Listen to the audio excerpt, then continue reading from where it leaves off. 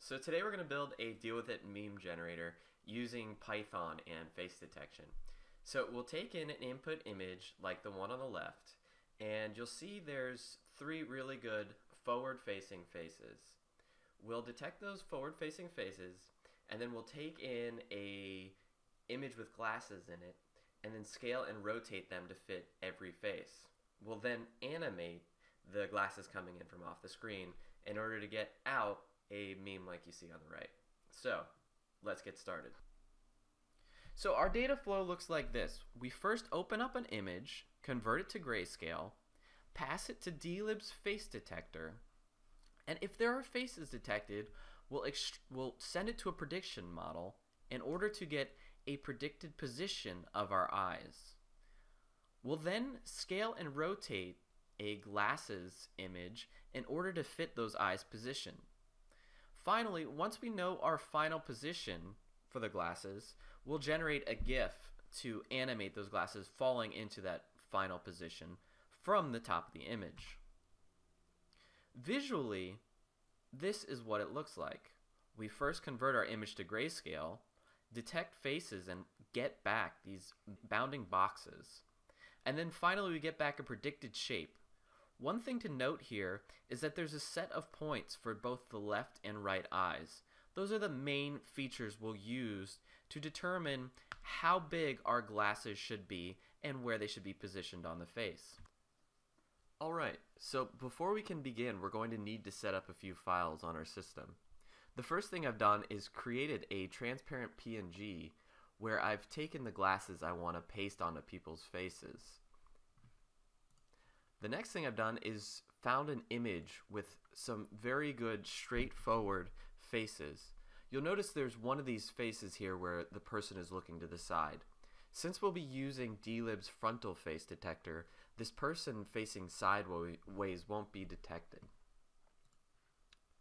Next, I created a transparent text PNG where I've written deal with it with a white font and a black stroke. This should help it pop no matter what the background colors are in an image. Finally, you'll need to download dlib's 68 point shape predictor. It's available at Davis King's dlib-models repository, and the one you'll want to download is the Shape Predictor 68 face landmarks. I've already downloaded and unzipped that. With that, let's jump into the code. So the first thing we do is import dlib and pillow libraries image. We also use argparse in order to take in a image from the command line.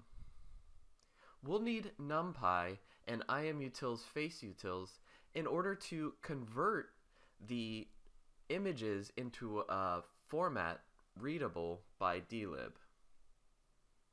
We also import MoviePy's editor as mpy as we'll need it to create our animated GIF once we've detected our faces. So the way dlib face detectors are created is with the dlib.get frontal face detector.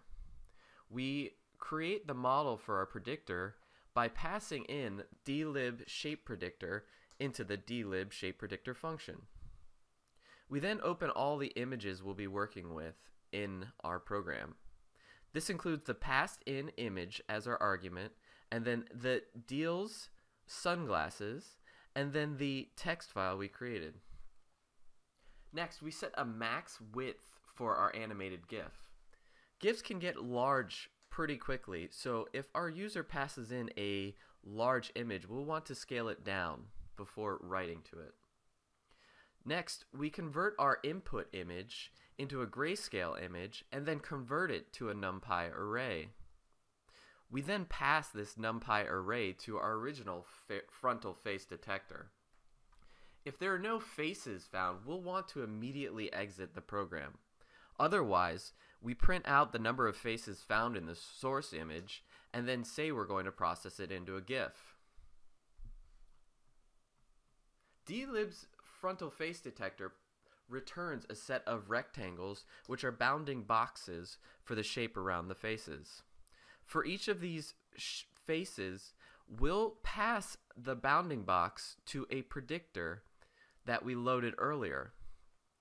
We then use the face utils shape to NP, numpy function in order to get a numpy uh, list of the positions for the left and right eyes. Afterwards, we use a slice from the 36th to 42nd element in order to grab the outline of the left eye. We do the same for the right eye using the 42nd to the 48th element. With these lists, we can then compute a center of mass for each of the eyes. NumPy's mean function allows us to compute the average.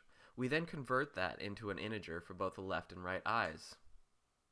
With these two center points, we can then compute an angle between the eyes. This tells us how much the head is rotated so that we can match our glasses to fit the same rotation. With this rotation and bounding box, we can then resize and rotate our glasses to fit properly. However, because we use the arctan, our glasses are going to be upside down and in the opposite rotation that we want. So we'll need to transpose and flip the image from top to bottom. Once that's done, we align the left eye X and Y and offset for the shape of the glasses so that they're overlapping the shape of the eye. For each face, we then append into our list a scaled glasses image that's been rotated to fit the proper face, and then a position where the glasses should be pasted to properly fit over the face. Finally, we iterate using MoviePy over each frame to generate our movie. The first thing we do is create a draw image using our original image with this convert function. This returns a new version of our image so we're not overwriting ourselves over and over again. For the first frame, we don't want to draw a set of glasses, so we skip that. Then we draw the transition to our glasses final position.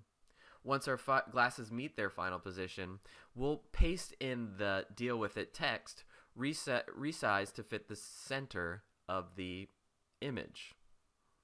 Finally, we create a MoviePy clip by passing in our frame generator and then write out a GIF. You can pass in a frames per second if you want a more fluidly animated GIF.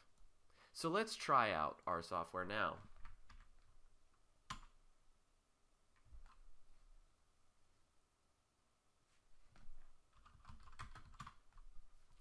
I've now created a deal with it .gif and if I scroll through I can see I get the exact output I expected.